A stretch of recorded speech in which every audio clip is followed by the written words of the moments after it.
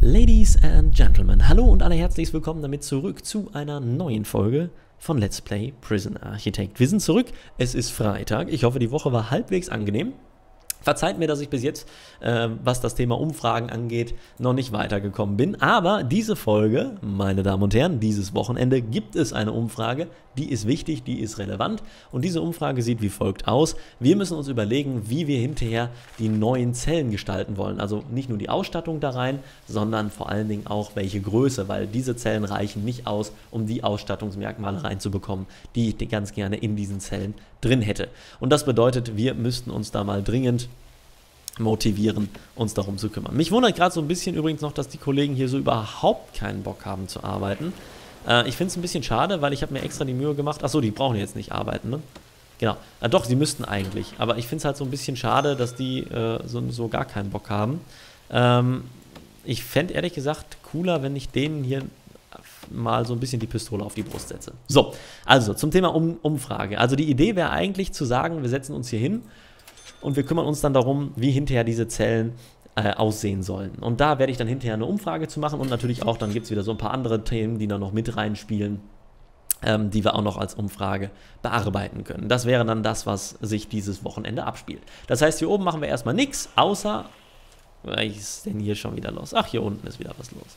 Ja, äh, also wir machen im Grunde genommen nichts, außer, und das ist relativ simpel natürlich, wir bauen schon mal unseren Zaun und wir geben natürlich auch schon mal ein bisschen Geld aus für unseren Zaun, weil das notwendig ist. Ja? Also wir müssen durch dieses Gefängnis durch erstmal von hinten nach vorne einen Zaun ziehen und ich bin jetzt in dem Modus mittlerweile, dass ich der festen Überzeugung bin, es wäre, ups, schlau, wenn ich planen könnte. Das hat bestimmt auch schon wieder jemand in die Kommentare geschrieben. Ähm, es wäre bestimmt eine schlaue Maßnahme, wenn ich hier in der Lage wäre, 25 abzumessen. 3, 4, 25, alright. Und dann machen wir hier 4, dann machen wir hier 6, dann machen wir hier 4 und dann wieder hier hoch. Also, im Grunde ist jetzt die Idee folgende. Ich möchte einfach schon mal so ein bisschen dafür sorgen, dass unser kleines Gefängnis einen gewissen Sicherheitsstandard erreicht. Das ist jetzt erstmal unsere wichtigste Baustelle, um die müssen wir uns schon mal kümmern. Das gleiche gilt für den Zaun nach hier oben. Auch das kann schon mal fertig werden. Äh, und mir geht es einfach darum, dass wir so ein bisschen... Ach, da wäre die Hecke gewesen. Ah ja, die habe ich ja letztes Mal irgendwann gesucht. Mir geht es jetzt einfach nur schon mal darum, dass diese, dass diese Basis passt. Und das heißt übrigens auch, dass wir schon mal diese Umfassungsmauer hier ebenfalls schon mal herziehen. Nur Wachtürme setzen wir noch nicht da drauf, weil da können wir noch nichts mit anfangen. Ja, und ihr werdet sehen, oder beziehungsweise ihr seht ja jetzt schon, wir haben ein gewisses, ähm, wie soll ich sagen, ein gewisses Maß an äh, oder ein gewisses Maß an Kapazität im finanziellen Sektor uns mittlerweile aufgebaut, was uns einfach die Möglichkeit gibt, ähm, problemlos äh, ziemlich viel zu bauen und zu gestalten. Ne? Deswegen möchte ich eigentlich ganz gern diese Chance auch nutzen. Ich möchte eigentlich relativ zügig hier ein Gefängnis bauen, was dann auch diesen Anforderungen entspricht, die ich mir hier vorstelle. So, wir gehen mal ganz kurz nochmal auf Objekt demontieren, denn hier haben wir jetzt natürlich die ganzen Lampen, die jetzt natürlich wieder gespawnt sind hier an der Stelle. Die können wir natürlich auch wieder alle zweckentfremden für unseren kleinen Spaß. So, auch das kann schon mal eben gemacht werden. Hier vorne die Planung kann weg. Ja, wir setzen hier vorne an der Stelle da ein Zauntor hin, oder beziehungsweise einen Zaun hin und dann setzen wir hier natürlich ein Zauntor hin, damit das Ganze ein bisschen räumlich abgegrenzt ist, damit das Ganze auch ein bisschen besser organisiert wird. Und dann machen wir hinterher auf diese ganze äh, Katastrophe natürlich auch noch ein Stacheldraht drauf.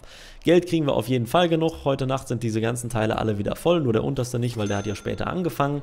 Ähm, ja, im Grunde warten wir momentan äh, noch darauf, dass hier dieser äh, Kompostdünger dann irgendwann in 40 Jahren mal fertig wird. Das wird allerdings noch ein bisschen Zeit in Anspruch nehmen.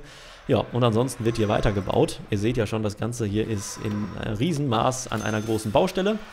Ähm, ganz schlimm wird das ja vor allen Dingen erst dann, wenn wir hier den Stacheldraht draufziehen. Auch das habe ich ja schon erzählt. Das wird nicht so schön.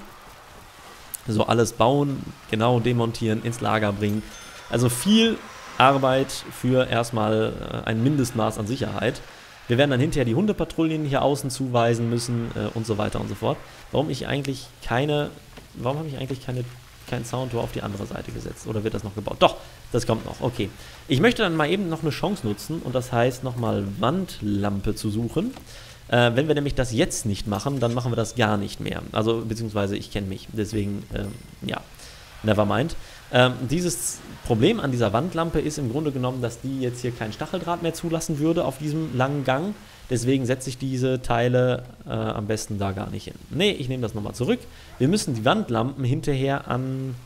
Oder können wir was anderes? Wir machen mal einfach Lampe. So, wir können Lampe grün, das ist ja auch interessant. Lampe rot, wir können Wandlampe, Lampe Solar. Aha. Ähm, oder wir können Licht oder sowas. Es gibt auch hier diese, diese Straßenlaternen oder diese Flutlichtscheinwerfer oder sowas.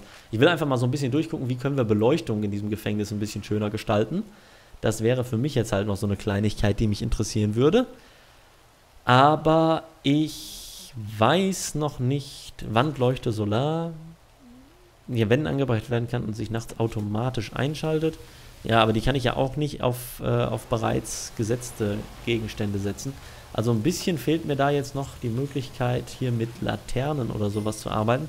Mir fehlt halt noch so eine, wie soll ich sagen, eine, eine schöne Art der ähm, ja, Beleuchtung für diese Wachtürme. Weil leider leuchten die im Dunkeln nicht. Ich meine, eigentlich ist das für so einen Wachturm ja das Optimalste. Hier übrigens die Straßenlaternen, die wir hinterher vielleicht wieder hier hinstellen werden, einseitig. Ähm, hier Licht, äh, ja, da wird auch schon wieder einer getasert. Ähm, diese Lichtmasten, die sind auch eigentlich ganz schick, aber man weiß nicht so wirklich, was man mit denen machen soll. Ähm, naja, sagen wir mal, wir warten mit den Lampen noch ein bisschen auf die Zukunft, was wir da machen können. Ihr seht, das Ganze hier, ja, da unten geht schon wieder ab. Wer macht hier Terror? Geht wieder, ne? Alles gut? Was ist mit dir? Extrem hart, tödlich, furchtlos? Ja. Leider keinen Platz in der Hochsicherheitsstufe. Jetzt hätte ich den ganz gerne schon entsorgt. Wie ihr sehen könnt, äh, wir haben jetzt hier oben eigentlich alles an dieser Wand und diesem ganzen Gedöns schon mal fertig gebaut. Ich meine, wir bauen das jetzt ja erstmal wahllos bis da oben irgendwo hin. Das ist jetzt halt ziemlich easy, das dann so schon mal fertig zu gestalten. So, die letzten zwei Meter der großen Wand müssen noch gebaut werden. Und jetzt ist halt die Frage, oh, die Medien haben eine Kampagne über die Annehmlichkeiten gestartet, die Häftlinge halten und mir wird hier die Hölle heiß gemacht. Ich verabschiede einen Gesetzesentwurf, der die Trainingsgeräte in Gefängnishöfen von Gefängnissen verbietet. Jo. Wir haben ja nur einen Hof und wir haben Trainingsgeräte in einem Sportsaal normalerweise stehen. Einziges Elend ist, wir haben keinen Sportsaal. Ne, das heißt, wir müssen mal eben ganz kurz diese Dinge hier alle demontieren. Und jetzt wird es langsam relevant, dass wir einen Sportsaal haben. Das heißt, ich muss mal ganz kurz hier improvisieren, sagen, das hier ist jetzt mal alles hier erstmal Sportsaal. Ja, ist jetzt nicht so schön, beziehungsweise ich setze das mal ganz kurz hier hin. Also wir brauchen einen Sportsaal und dieser Sportsaal muss Hantelmatte und diese, also Turnmatte und Co. haben und der braucht halt diese ganzen Hanteln und den ganzen anderen Scheiß. Ähm, ja, ne, ihr kennt's ja. Wir müssen halt jetzt ein bisschen dafür sorgen, dass wir hier äh, alles, was an, an Hantelbänken und sowas zur Verfügung stand, so ein bisschen unterzukriegen ist. So, ne. Geht nur darum, dass die erstmal ihre Sportbedürfnisse nochmal weiter ausführen können, ohne dass gleich alles den Bach runtergeht. So, wir warten mal ganz kurz. Ja, der möchte schon wieder, dass wir einen Todestrakt bauen. Ja, ich weiß. Äh, alle aus und alle wieder einschalten. Ist kein Thema, ne? Batterie wird entladen. Ja, wir produzieren ganz genau so viel, wie wir... Ja, es ist, äh, es ist ein Elend. Wir haben mittlerweile durch die äh, Erweiterung unseres Gefängnisses ein äh, Maß an Stromverbrauch erreicht, was ähm, die Anlage hier nicht mehr leisten kann. Es ist aber auch eigentlich kein Problem, wenn wir einfach ein paar Sekunden warten. Äh, wir machen mal kurz nochmal alle aus. Wir machen nochmal Netzschalter aus und wir warten. Machen nochmal alle an und warten mal ein paar Sekunden. Wir haben nur 530 Einheiten Energieproduktion momentan. Das ist natürlich bei weitem nicht genug. Ja, da muss es jetzt mal ganz kurz dunkel bleiben heute Nacht. Es ist nicht zu ändern. Ähm, was mir noch relevant einfällt oder was ich noch cool finden würde, ist, wenn wir wissen würden, hier in welchem Abstand ich dann hinterher diese Türme bauen möchte. Ähm, zwischen den Trakten, aber das ist, glaube ich, ehrlich gesagt erst dann relevant, wenn ich. Äh, oh, meine Waschmaschine pieps. Ähm, die ist erst dann, oder das ist erst dann relevant, wenn ich mir angucke, ähm, wann wir hier in irgendeiner Art und Weise, wie soll ich sagen, ein gewisses Maß an äh, Gefängnis hier drüber haben, weil hier in der Mitte, ja, wie soll ich sagen, fehlt es halt. Okay, mir geht meine Waschmaschine auf den Sack, ich bin sofort wieder da. Ich hasse Waschmaschinen, die nicht in der Lage sind, in irgendeiner Art und Weise einzugestehen, dass ich jetzt nicht hundertprozentige Aufmerksamkeit für sie habe. Also welcher Hersteller denkt sich, boah, meine Waschmaschine ist fertig, äh, da wartet der bestimmt den ganzen Tag schon drauf und jetzt muss ich unbedingt, ganz wichtig, diese scheiß Piepstone anmachen, der irgendwie jeden abfuckt, der sonst noch in der Wohnung ist. Ja, weiß ich nicht. Ähm Meine Idee ist es nicht, aber never mind. Also, haben wir jetzt mal ein bisschen äh, Saft hier im Laden oder was? Ja, um 5 machen wir mal hier Saft an und dann sollte eigentlich alles in Ordnung sein. Wo ich, wo war ich? Also, wir haben hier die Situation, dass wir hier theoretisch äh, irgendwann mal was zwischen machen könnten, aber äh, das muss jetzt erstmal noch nicht sein, ist ja auch nicht in der Prioritätenliste ganz oben, da fehlt noch ein Stückchen Zaun, das ist mir noch eingefallen gerade. So, wir können den Netzschalter mal, nee, nicht, nicht, nicht verbinden, wir möchten den Netzschalter mal einschalten und wir können uns jetzt eine Sache machen, die ist ganz wichtig für mich und das ist diesen Kollegen hier Verbindung löschen. Weil das hat jetzt dafür gesorgt, dass hier nachts nichts mehr an Energie verkauft wird und dann reichen diese Solarpaneele auf jeden Fall ja, für die Zukunft problemlos aus. 140.000 Euro haben wir. Ich weiß nicht mehr, wie viel uns das jetzt tatsächlich heute Nacht gebracht hat. Was wir machen können, ist mal ganz kurz hier vorne so Kleinigkeiten, diese Gehwegplatten schon mal dahinsetzen. Ähm, ich wäre jetzt dafür, dass wir tatsächlich für 120.000 Euro den Hochsicherheitstrakt schon kaufen. Einfach nur, damit ich irgendwen hier outgesourced kriege. Ähm, das Ding ist halt, der ist völlig autark und der, der fängt im Blauen an. Also das mit dem Hochsicherheitstrakt ist halt echt so tricky, den mal eben so zu machen. Ähm, deswegen wäre mein Vorschlag, wir machen erstmal eine Sache anders. Wir setzen nämlich mal ganz kurz hier einen Zaun hin, das wäre mir noch wichtig. Ja, da könnte sich mal eben dann noch jemand drum kümmern. Und wir sollten dann in der Lage sein, uns relativ zeitnah um ein paar Dinge zu kümmern. Ich weiß ehrlich gesagt nicht, warum, wie gesagt, hier im Laden noch keiner arbeiten kann. Ähm, das ist ein bisschen ärgerlich. Ähm, aber nicht zu ändern momentan. So, die Leute hier haben jetzt momentan Freizeit oder Einsperrzeit. Ja, und die gehen tatsächlich in die Einsperrzeit. Also können sie auch vorher Freizeit haben. Also das ist mir ehrlich gesagt egal. Mir geht es halt eigentlich darum, dass die in der Lage sind, arbeiten zu gehen. Aber die gehen irgendwie nicht arbeiten. Man muss ja für die, äh, für im Laden äh, qualifizierte Häftlinge 65, ja, also man muss da keine Voraussetzung für haben. Kann ich da irgendwie irgendwas Sinnvolles mitmachen? Nicht so wirklich, ne? Ich meine, die haben jetzt Essenszeit oder, oder Freizeit ähm, oder die haben Arbeitszeit. Und warum, warum wollen die jetzt nicht arbeiten? Also das ist halt so ein bisschen das, was mich so ein bisschen ärgert. Ähm, wir können mal Arbeitsverwaltung machen und hier Rechtsklick drauf. Also die hohe Sicherheitsstufe, die Schutzhaft hat Arbeit da drin. Ähm, die höchste Sicherheitsstufe, die darin arbeiten darf. Äh, der Sicherheitsbereich des Raums darf nicht überbrückt werden. Ja, das ist die Schutzhaft. Äh, Tagesordnung bestimmen Sie die Besuchszeiten für Kunden und setzen sie während der Arbeit, der Freizeit oder zu beiden Seiten an. Ja, so und Wachenstandard, eine schnelle Möglichkeit, Wachen zu einem Bereich zuzuteilen, während Zivilisten zugegen sind.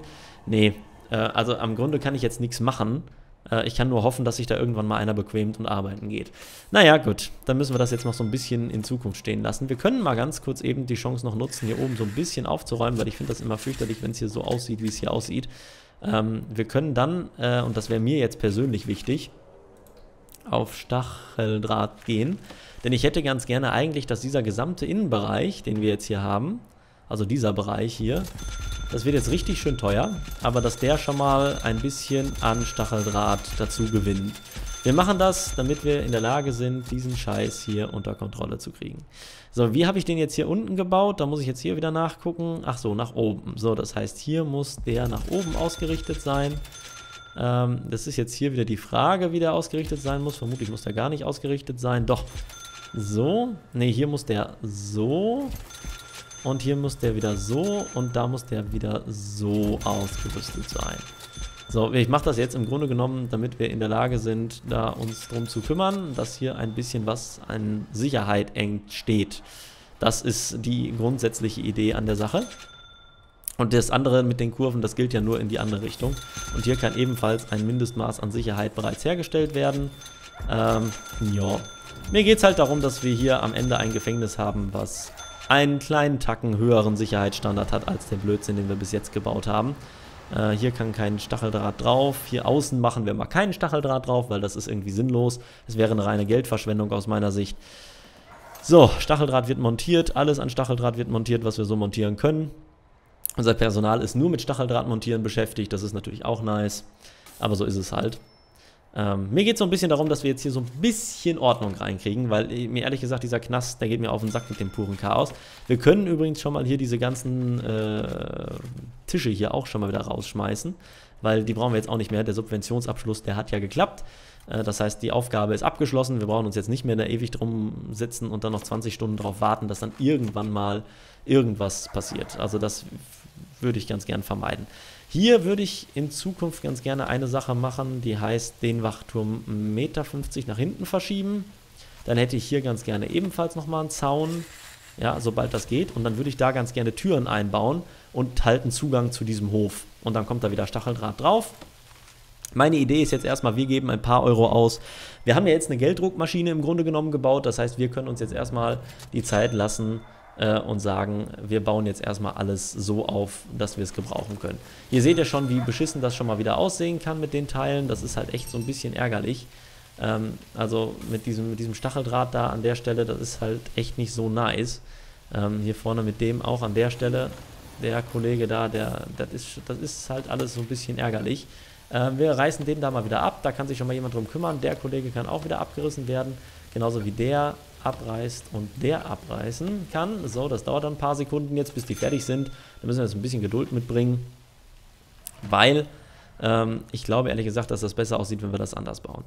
So, jetzt müssen wir halt echt warten. Der Stacheldraht, was ist hier? Da muss ja auch noch Stacheldraht installiert werden.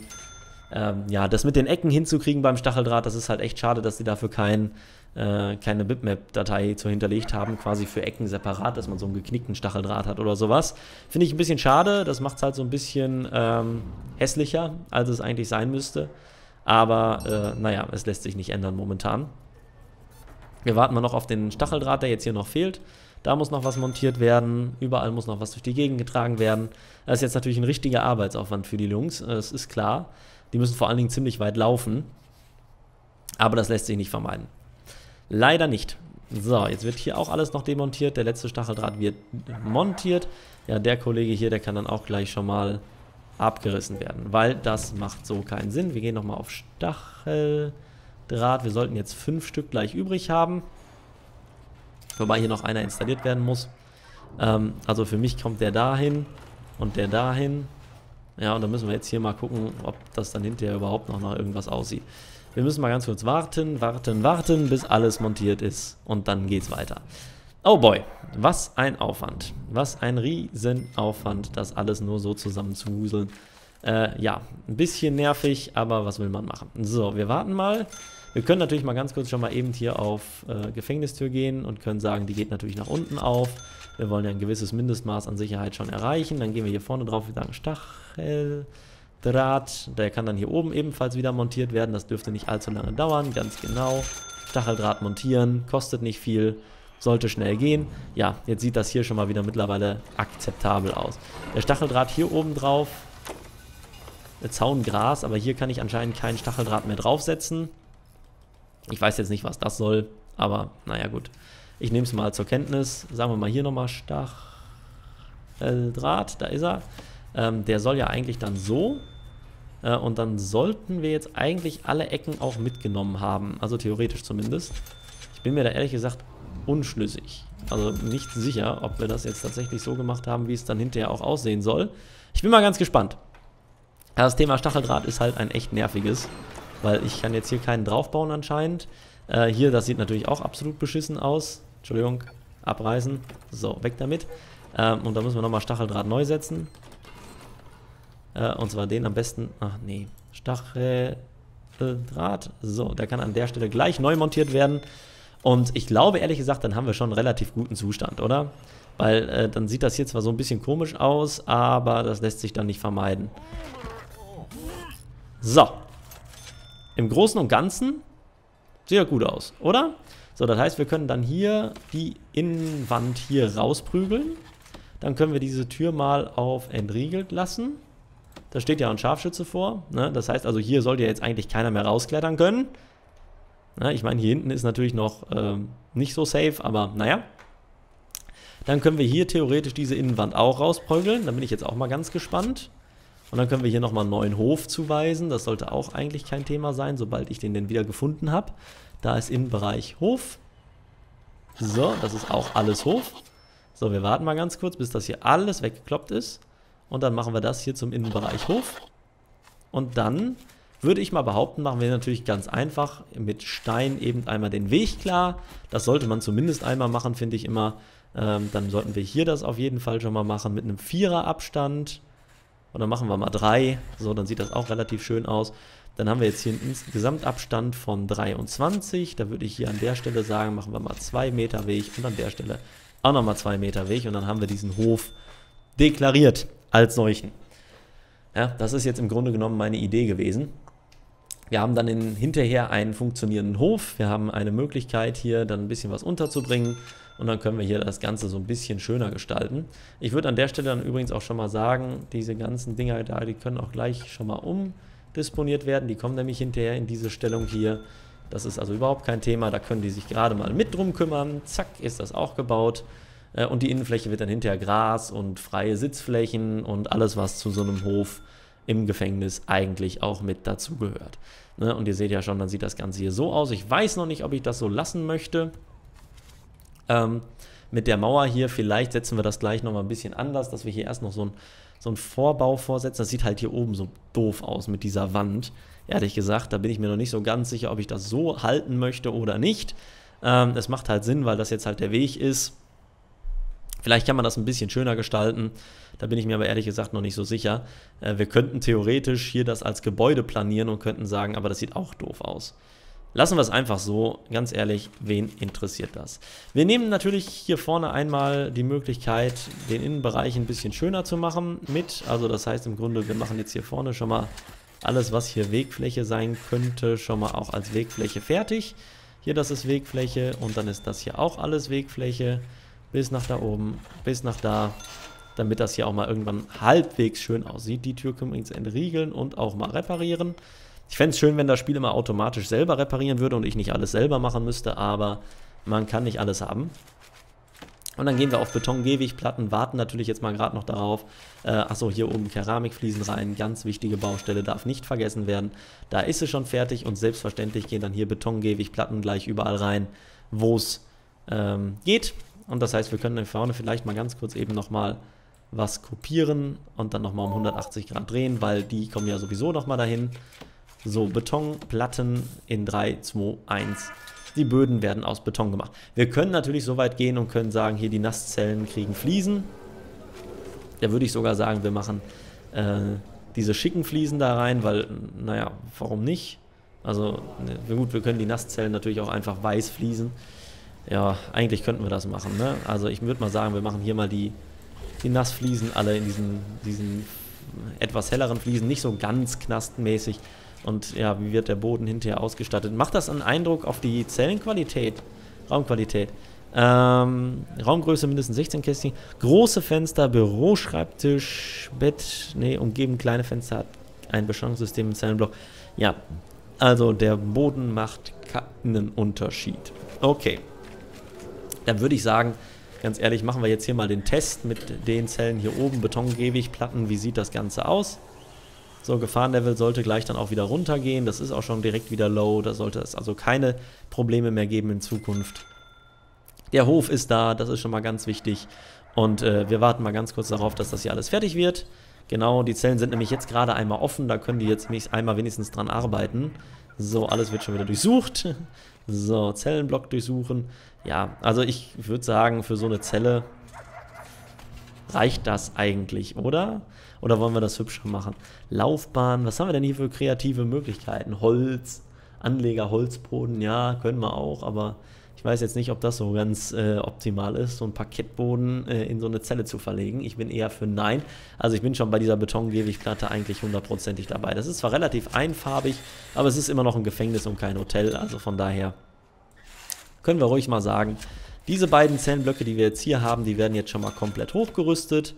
Ja, und hochgerüstet heißt jetzt, ich mache die jetzt mal komplett fertig. Ja, ich, ich sage jetzt mal ganz ehrlich, ich mache die jetzt mal wirklich komplett fertig. Und das heißt auch äh, Spüle und Spiegel, diese Dinger hier, die kommen jetzt noch da rein. Das ist ja, glaube ich, die einzige Sache, die ich jetzt noch hier reinbauen kann. Aus irgendwelchen Gründen haben wir keinen Wasseranschluss mehr für den Kollegen da. Woran hapert's? Hä? Achso, da haben sich einfach nur gerade zwei ähm, ja, zwei Ströme getroffen und dann backt das schon mal so ein bisschen.